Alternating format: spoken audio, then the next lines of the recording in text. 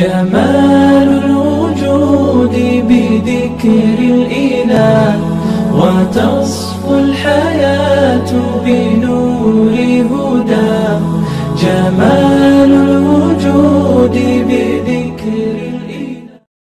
السلام علیکم ورحمۃ اللہ وبرکاتہ۔ ناظرین، میں آج آپ حضرات کی خدمت میں بچوں کے حوالے سے ایک بہت ہی آزمایا ہوا عمل لے کر حاضر ہوا ہوں۔ ہماری مائیں اور ہماری بہنیں پریشان رہتی ہیں کہ بچہ بہت زیادہ روتا ہے، اس کو اس کو نظر لگ گئی ہے۔ ہم کیا کریں؟ کیونکہ بسا اوقات ایسا ہوتا ہے، کبھی رات کا ٹائم ہوتا ہے، رات کا وقت ہوتا ہے۔ اب اس بچے کو ہم کہاں لے کر جائیں؟ تو میں آپ کو ایک ایسا عمل بتاؤں گا کہ آپ وہ خود کر سکتی ہیں۔ یا مرد حضرات وہ عمل کر سکتے ہیں اور بچوں کے اوپر دم کریں تو انشاءاللہ وہ بچہ فوراً خاموش ہو جائے گا، رونا بند کر دے گا، اس بچے کو سکون ملے گا۔ وہ عمل بہت ہی آسان ہے۔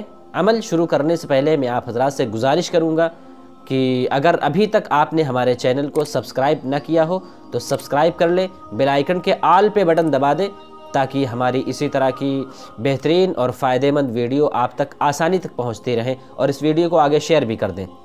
تو وہ عمل بہت ہی آسان ہے جو عمل میں آپ کو بتانے جا رہا ہوں، اس کو ہر شخص کر سکتا ہے۔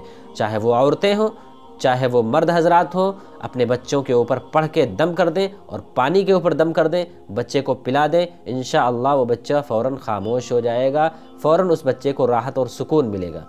تو وہ عمل کیا ہے؟ آپ حضرات غور سے سنیں۔ سورہ فلق یعنی قل اعوذ برب الفلق، تین مرتبہ پڑھنا ہے۔ اور سورہ ناس یعنی قل اعوذ برب الناس، اس کو تین مرتبہ پڑھنا ہے۔ جب بھی آپ سورج شروع کریں گے تو شروع میں بسم اللہ ضرور پڑھیں گے۔ تو ان دونوں صورتوں کو تین تین مرتبہ پڑھ کر آپ بچے کے اوپر دم کر دیں اور پانی کے اوپر دم کر دیں۔ دوسرا عمل، وہ بھی بہت آسان ہے، یہ بھی عمل آپ کو کرنا ہے۔ وہ بھی قرآن کریم ہی کی آیت ہے، پارہ نمبر سولہ، سورہ توحہ آیت نمبر ایک سو آٹھ۔ وخشعت الاسوات للرحمن فلا تسمع الا ہمسا اس آیت کو سات مرتبہ پڑھ کر پانی پر دم کرنا ہے اور بچے کو پلا دینا ہے۔ یہ دو عمل اگر آپ حضرات کر لیں گے تو انشاءاللہ بچے کو فوراً سکون ملے گا، بچے کو فوراً راحت ملے گی اور آپ بے فکر ہو جائیں گے۔ امید ہے کہ آپ کو یہ عمل سمجھ میں آیا ہوگا۔ اس یہ عمل آزمایا ہوا ہے۔ یہ عمل مجرب ہے۔ اکابیر نے اپنی کتابوں میں اس عمل کو نقل کیا ہے۔